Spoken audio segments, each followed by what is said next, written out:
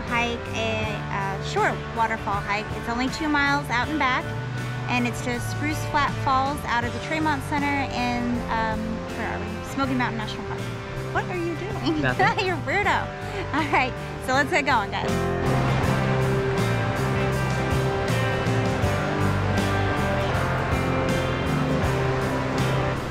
So the there is actually usually parking over here, but it's closed. Uh, with COVID, they don't have the campground open, so there's a barrier, and you got to park on the other side of the road. But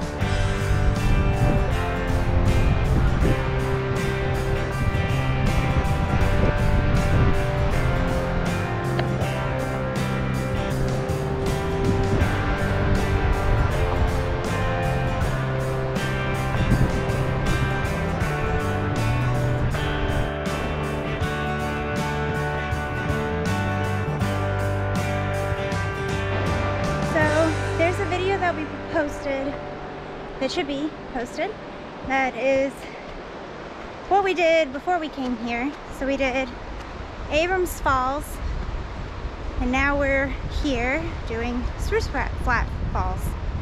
And so total it'll be about seven mile day, but what's cool is Abrams is out in Cades Cove, and this one's kind of like on your way back. So if you're one of those people that you're like, ah, that's it, kind of want to do something else, this is a great little add-on.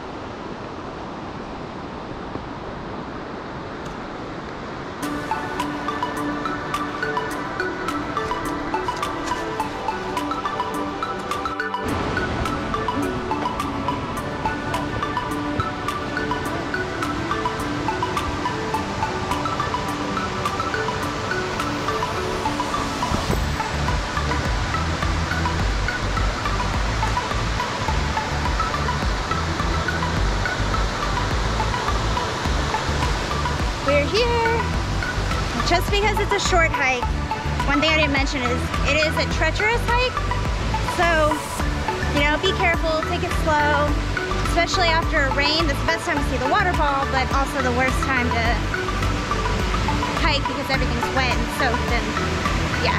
So I better watch what I'm doing here.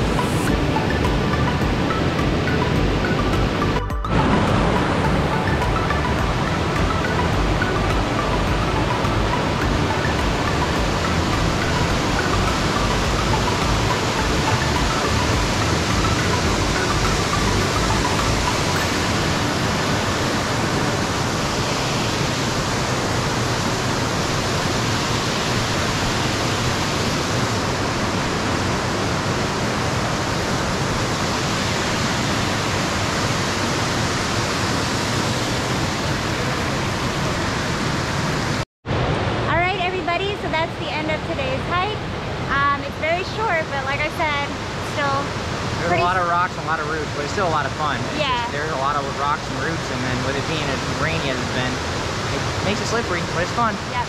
So please like and subscribe for some more fun hiking videos, and we will see you in our next venture.